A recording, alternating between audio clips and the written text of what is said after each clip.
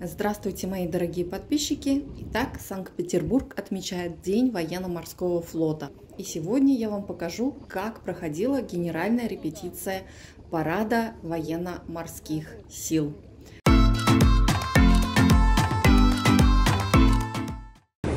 Российская Федерация и ее вооруженные силы торжественно отмечают День военно-морского флота. Последнее воскресенье июля, как линза фокусирует морские традиции разных эпох в истории российского государства.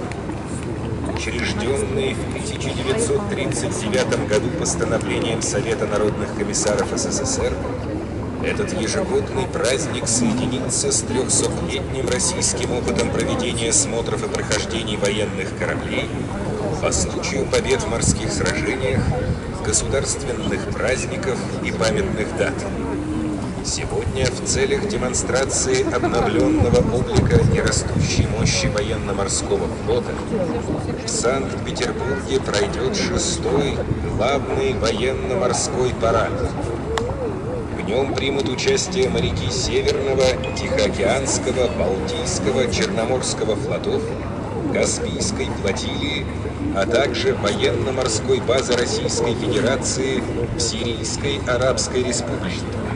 В 1914 году подписал указ, где повелел ежегодно проводить военно-морские викториальные дни с торжественными богослужениями, морскими парадами, шествиями войск, фейерверками и салютами.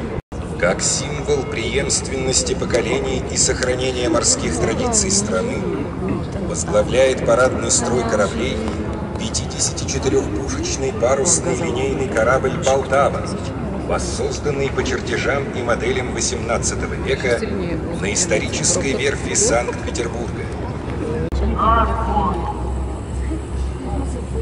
В парадном строю современный малый ракетный корабль «Великий Устюг», представляющий краснознаменную Каспийскую флотилию.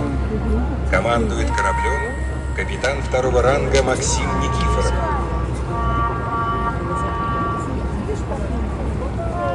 Здравствуйте, товарищи!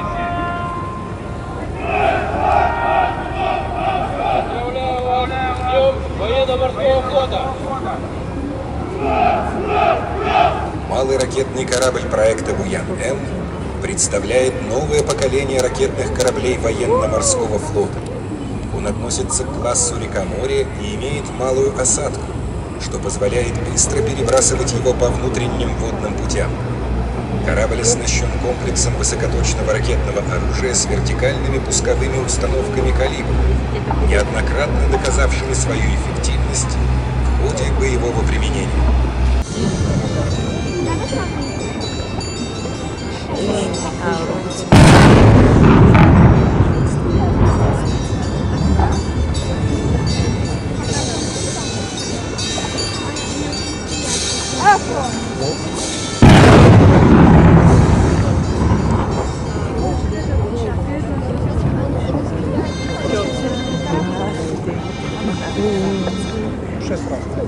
Катер на воздушной каверне Т-67 несет на своем борту бронеавтомобиль повышенной защищенности с гвардейским военно-морским флагом 155-й отдельной бригады морской пехоты Тихоокеанского флота.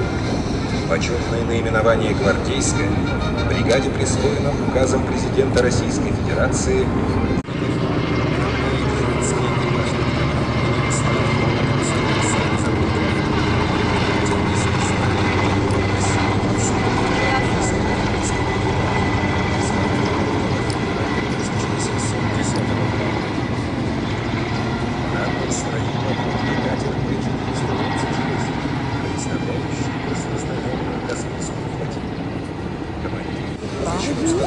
ударного комплекса и новейших систем защиты.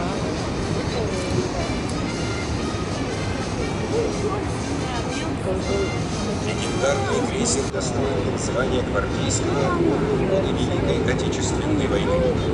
Гвардейский военно-морской флаг крейсера доверено провести экипажу противодиверсионного катера «Юмармеец Татарстан».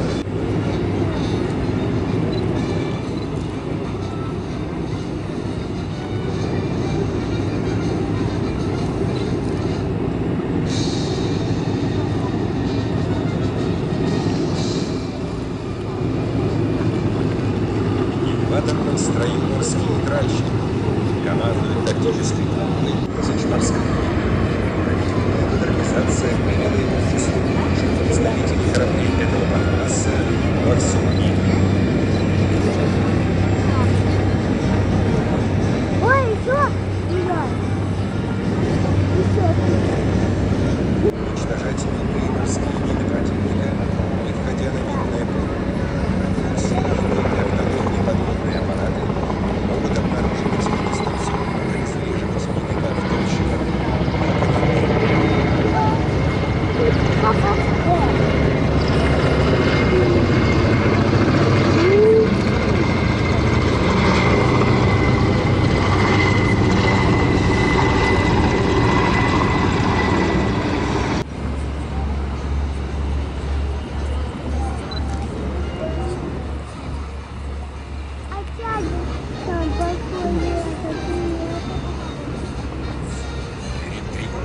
Многоцелевой малый ракетный корабль «Зеленый дом».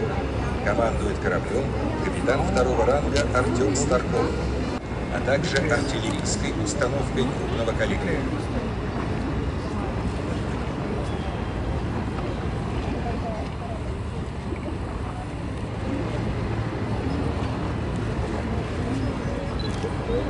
передовыми комплексами управления противовоздушной обороны, навигации и радиоэлектронной борьбы.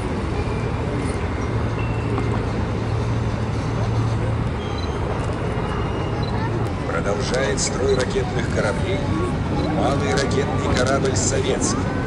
Командует кораблем капитан третьего ранга Александр Разин. Ракетные корабли проекта «Корабель» не имеют аналогов в мире по своим конструктивным и боевым возможностям.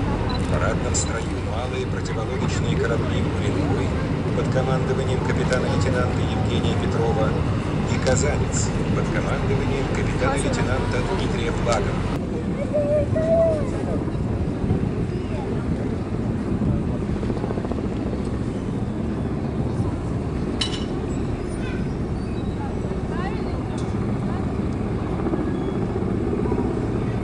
Все, 10 минут. Полностью